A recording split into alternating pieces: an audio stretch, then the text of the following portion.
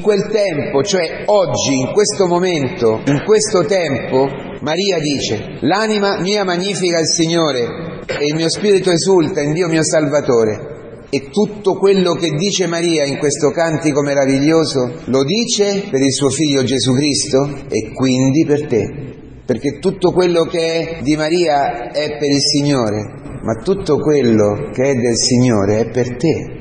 Non è che stanno lì loro due, mamma e figlio, e dice va bene, ce la siamo suonata, ce la siamo cantata, siamo felici. No, tutto quello che è di Maria è per te, per la tua salvezza. Maria è stata scelta per te e per me, ma non è immacolata così perché il Signore dice vabbè, nella produzione di tutti i miliardi degli uomini facciamone una perfetta, senza peccato, vediamo come viene. Non, non ha giocato Dio, Dio ha fatto questo per te, capito?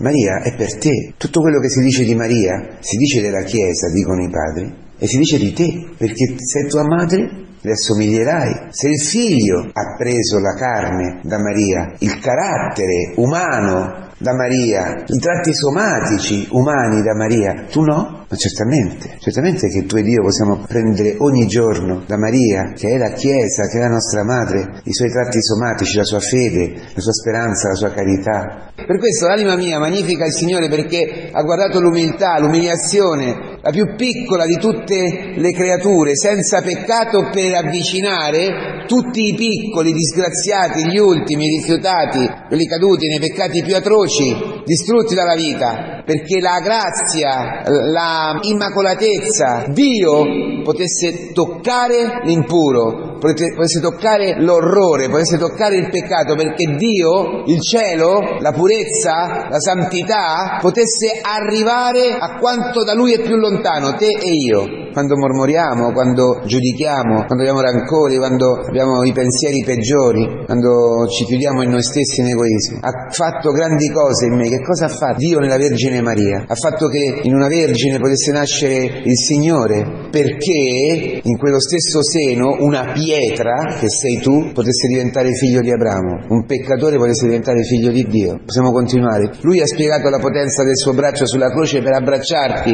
Lui ha disperso i superbi nei pensieri del loro cuore quante volte, con le umiliazioni, con la storia impastata di amore, dalla sua misericordia, ha disperso i pensieri del nostro cuore e ci ha portato a umiliarci davanti al fratello, a entrare nella sua volontà, ha innalzato gli umili, ha innalzato quelli che proprio non ce la fanno a fare nulla, perché questi sono gli umili, eh? Gli umili non sono quelli con la faccia così, con la vocina tutta piccolina e no, io non posso, no, no. L'umile è quello che conosce se stesso e sa che non può fare nulla se non peccare, diverso. E gli affamati, i colmati di beni, sei tu, sei tu, sei tu che sei stato rimandato a mani vuote tante volte che hai pensato di essere ricco, superbo, di poter gestire la tua vita i tuoi figli. Lui ti ama e Maria è il segno dell'amore di Dio per te. Ha pensato una donna per te, ha pensato di preservare dal male, dal peccato una donna per fare di te una persona nuova, libera dal peccato. Pensa che questa donna è Maria, che questa donna è la tua madre, la Chiesa. Anche se una madre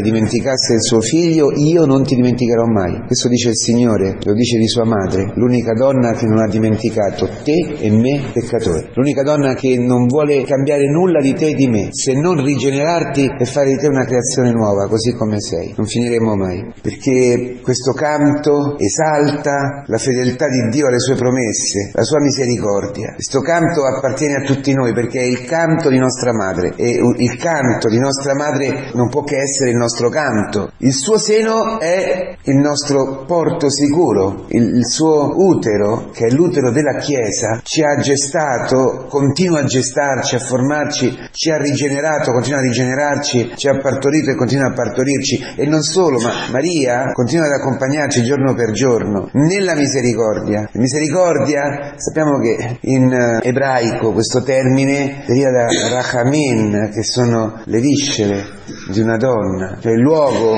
della misericordia è vero che è il cuore, ma è anche l'utero, è anche il seno di una donna, di questa donna immacolata che ci immerge ogni giorno in questa immacolatezza, in questa purezza rigenerante che fa di noi sempre una creazione nuova. La misericordia del Signore, sempre in azione, questa meraviglia che è il Magnificat, che è l'esultazione di Maria e la tua gioia. Oggi che tutti stanno annunciando catastrofi vicine e che non abbiamo nessun diritto di gioire e di festeggiare nulla, che al mondo basta un virus per essere distrutto, per essere chiuso e ritornintanarsi nell'egoismo, per noi non è vero, per noi non c'è nulla che possa toglierci la gioia, anzi, anzi, possono cadere le bombe, possono arrivare virus, possiamo stare sofferenti in un letto di ospedale, possiamo avere tutto congiurando contro, ma siamo dentro queste viscere di misericordia della Chiesa che esulta per te, per te. Come non puoi esultare oggi